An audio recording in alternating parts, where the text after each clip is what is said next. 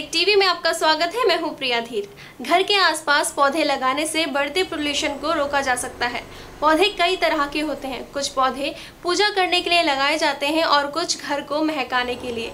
लेकिन आज हम एक ऐसे पौधे के बारे में बताने जा रहे हैं, जिसे अगर आप अपने घर में लगाते हैं तो आपको कभी भी पैसे की कमी नहीं होगी। कहा जाता है कि यह पौधा पैसे को अपनी ओर आकर्षित करता है।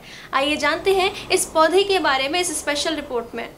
जिस चमत्कारी पौधे की हम बात कर रहे हैं, उसका नाम है क्रूसला प्लांट। हर किसी की ख्वाहिश होती है कि उसके पास अपार धन दौलत हो। इसलिए वह कड़ी मेहनत भी करता है, लेकिन कभी कभी मेहनत का फल उतना नहीं मिलता जितना मिलना चाहिए। इसलिए लोग घर में वास्तु के उपाय करते हैं। धन वृद्धि के लिए वैसे तो मनी प्लांट को लगाने की बात कही जाती है, लेकिन बहुत कम लोग ये जानते हैं कि क्रूसला का पौधा इससे भी कारगर होता है। क्रूसला को मनी ट्री भी कहा जाता है। कहते हैं, यह पौधा चुंबक की तरह पैसों को अपनी ओर खींचता है। यह पौधा देखने में बेहद खूबसूरत और मखमली गहरे हरे रंग का होता है। इसकी पत्तियाँ चौड़ी व बहुत ही मुलायम होती हैं। इस पौधे की खास बात यह है कि इसे ज़्यादा पानी की आवश्यकता नहीं होती है। इस पौधे को आप घर के किसी भी कोने में लगा सकते हैं। लेकिन यदि इसे घर के मुख्य द्वार के बाई तरफ़ लगाया जाए तो आपको ज़िंदगी में कभी भी पैसों की कमी नहीं होगी। हमारे शास्त्रों में भी